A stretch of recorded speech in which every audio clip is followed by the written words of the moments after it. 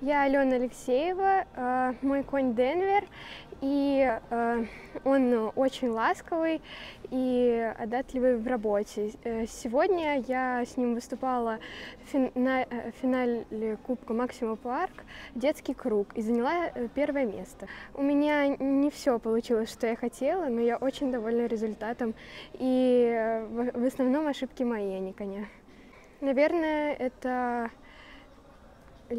личный приз, потому что у меня его достаточно хорошо получается, и она сложная, и мне нравится оттачивать э, каждый элемент. Я хочу попасть в сборную и э, выступать за, за Россию, за нашу страну.